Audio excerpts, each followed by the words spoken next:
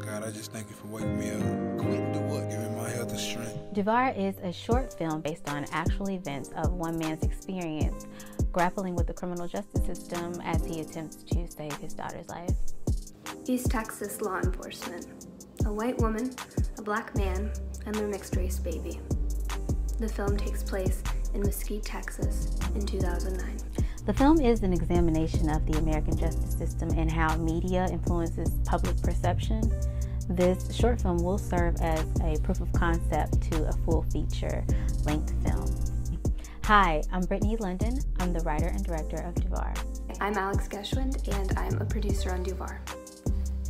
I was in the seventh grade when my daddy was incarcerated for abating in the distribution of marijuana a substance that has since been decriminalized and in some states legalized. Duvar is my response to telling firsthand what families experience with the criminal justice system. I'm also telling this story to challenge the media narrative that surrounded this case. This particular conviction relied on circumstantial evidence and debatable witness testimony.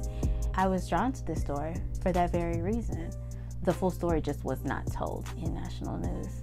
We've began cultivating a solid casting crew. We've had a reading that has received stellar feedback and provided us with amazing resources. Brittney is an amazing writer. This story is extremely hard hitting and thought provoking. It will challenge your views on race in our society the traditional gender roles within the family and even the legal system. I'm really, really excited for what's to come, and everyone needs to see this movie.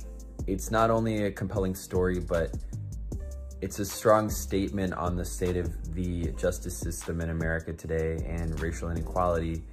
I'm really excited for Brittney's directorial debut, and it's a privilege to be involved in the project.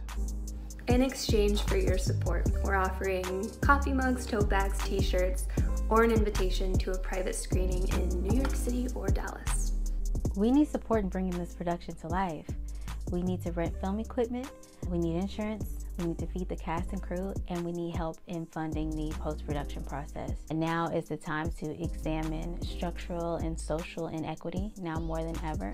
Not only will your gift ignite powerful conversations about change. It will feed a community of artists that have been negatively impacted by this time of social distance. We need you to join us. Even the smallest contribution will go a long way. Even if you aren't able to help financially, um, please share this with your networks. While we do appreciate cash, we will take your moral support and your e-hugs too. It's a movement, and nothing truly great happens outside of community.